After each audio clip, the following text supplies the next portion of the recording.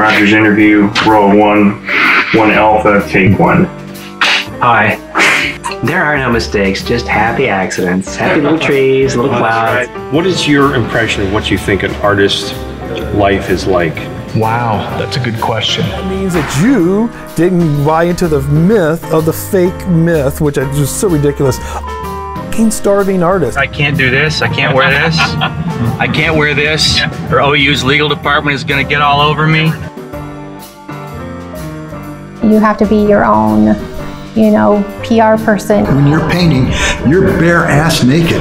You got it all hanging out there. And, you know, you have to do your own marketing. Without artists, there'd be no music, there'd be no movies, there'd be no video games, there'd be no TV shows, there'd be no cereal boxes. I mean, you'd have a black and white society, everything would be plain, dull, and lifeless.